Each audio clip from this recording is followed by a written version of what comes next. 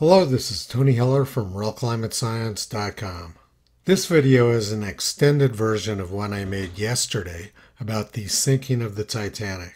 The Titanic sank on April 14, 1912, but our story begins two years earlier. Earth was about to pass through the tail of Halley's Comet. There was a widespread belief that this could lead to massive storms, plagues, and political instability. The head of Halley's Comet was 42 times the size of the Earth, and the tail was 62 million miles long. People were very concerned about the effect this might have on Earth. Concern about the effect of comets goes back to at least the year 700 AD.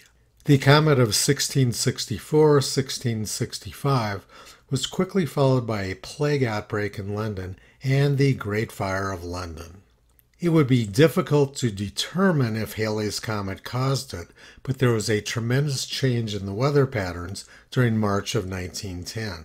March 1910 was the warmest March on record in the United States, with temperatures averaging about 10 degrees above the long term mean. Two thirds of afternoon temperature readings in the United States during March 1910 were over 60 degrees Fahrenheit. And the United States sank into an historic drought at the same time in March 1910. The drought was very severe and it lasted well into 1911.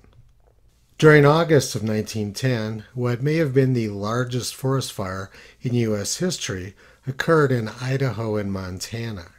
Three million acres burned in just over 24 hours.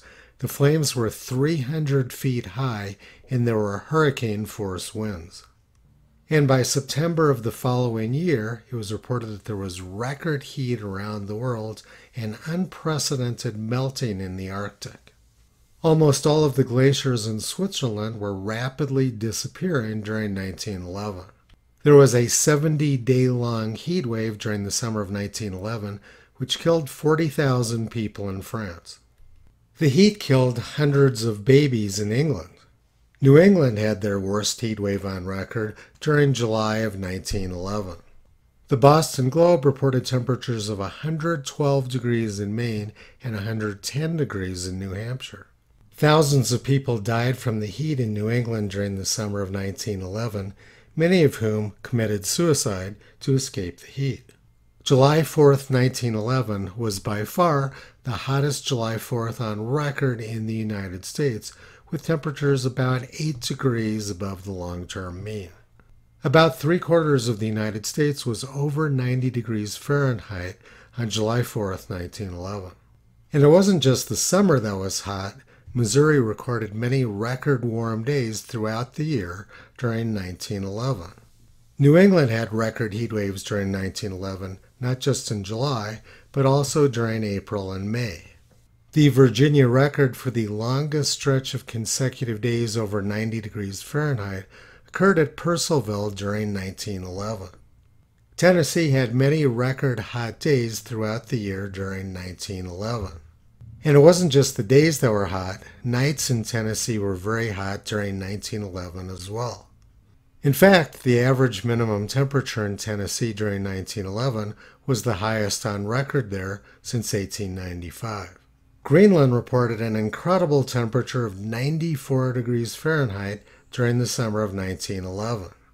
The unprecedented warmth of 1911 led to an unprecedented amount of icebergs in the North Atlantic. And this led to the sinking of the Titanic during April 1912.